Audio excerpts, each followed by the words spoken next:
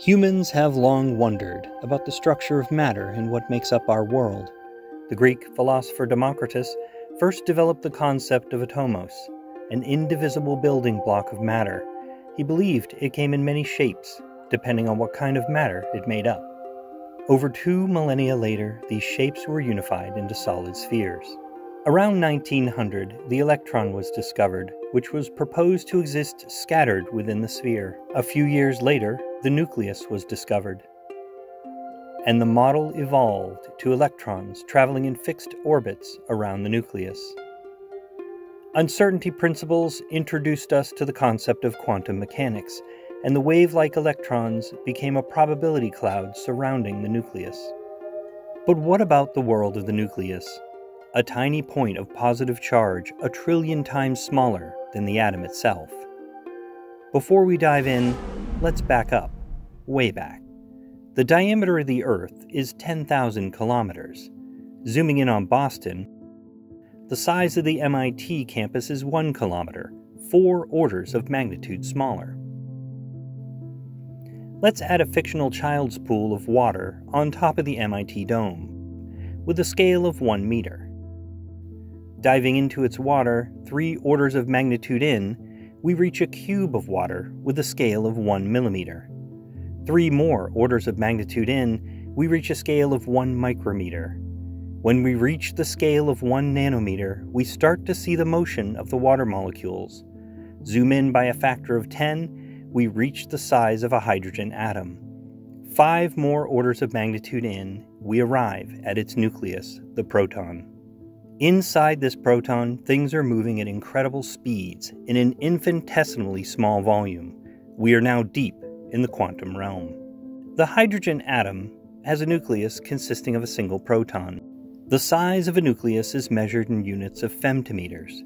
A proton has a radius of nearly one femtometer, 100,000 times smaller than the size of its hydrogen atom. This proton exists in a quantum state that changes based on how you observe it. At a high shutter speed, we see an ocean of gluons. At a medium shutter speed, we see a sea of gluons and quark antiquark pairs. And at a low shutter speed, we see the dominance of the valence quarks. More complex nuclei contain not only positively charged protons, but neutrally charged neutrons. While the proton can exist by itself in a stable form, neutrons on their own are unstable and will quickly decay into a proton, electron, and antineutrino. But neutrons remain stable when bound to a proton by the strong force in nuclei. Oxygen 16 contains 8 protons and 8 neutrons. If we look deeper, the fundamental quark gluon constituents appear, but for our purposes, they are hidden.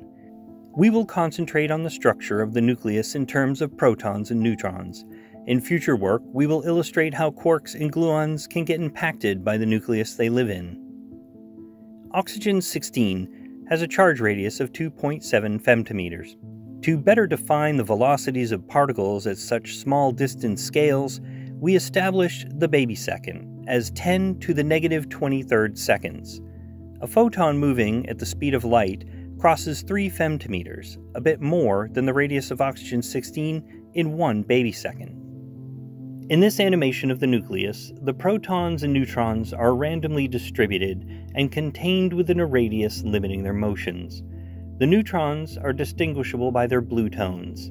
The individual protons and neutron particles will both attract and repel each other based on proximity to mimic the strong nuclear force, and a noise field is introduced to stir them around randomly. The protons and neutrons inside move on average about one third the speed of light. In the period of a baby second, protons and neutrons traverse one femtometer. Compare this motion with that of the point like photon that moves at the speed of light across our femtometer ruler. Shown here is helium 4, the most abundant multinucleon system. When peering inside the protons and neutrons, the quarks and gluons move with the speed of light.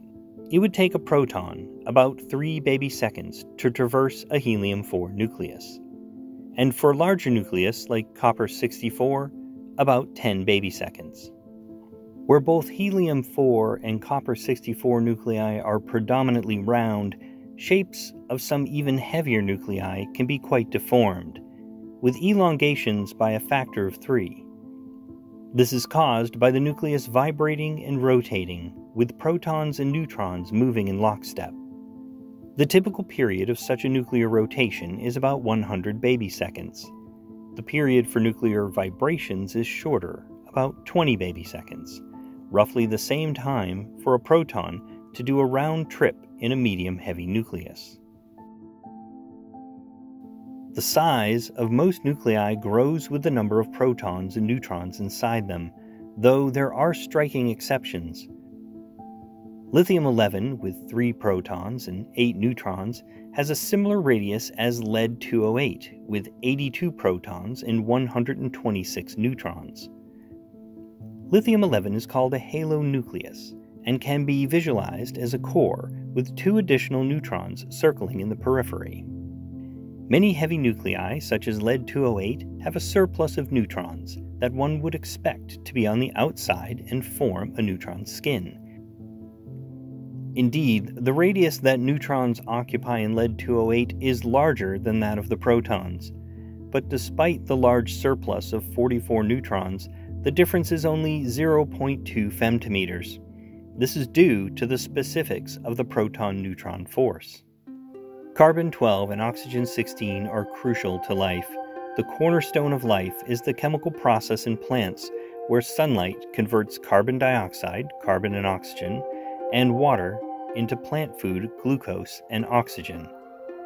The elements hydrogen, oxygen, and carbon account for 93% of the mass of the human body. Carbon 12 consists of 6 protons and 6 neutrons, that occupy a sphere with a radius of 2.5 femtometers. Oxygen 16 packs two more protons and neutrons each in a sphere with a radius of 2.7 femtometers. Those additional protons and neutrons make a huge difference. Oxygen is a gas. Oxygen is the most abundant element in Earth's crust, and after hydrogen and helium, it is the third most abundant element in the universe oxygen is continually being replenished in Earth's atmosphere by photosynthesis. Carbon is a solid.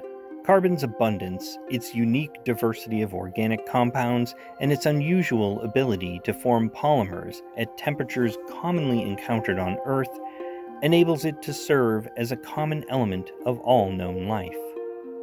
Oxygen, carbon, and the elements that make up our universe are all created with the same basic quantum building blocks. By just adding or removing protons, neutrons, and electrons, the matter they create at the macro level varies with an incredible diversity of properties. Despite the dominance of these elements, a large variety of nuclei are used in technical applications benefiting humankind. For example, tritium or hydrogen 3 is used to power exit signs. Carbon 14 is used to date our Earth, world history, and art. Fluorine 18 is used as a tracer for brain and biological imaging. Cobalt 60 has been used to help reduce disease and extend food shelf life. Technetium 99 is widely used in nuclear medical imaging. Samarium 153 is used to treat bone metastasis. Americium 241 is used in smoke detectors. By adding or removing these quantum building blocks of the proton and neutron, an incredible diversity of nuclei can exist. These elements play a critical role in human life, in our bodies, our health and safety, and the world around us.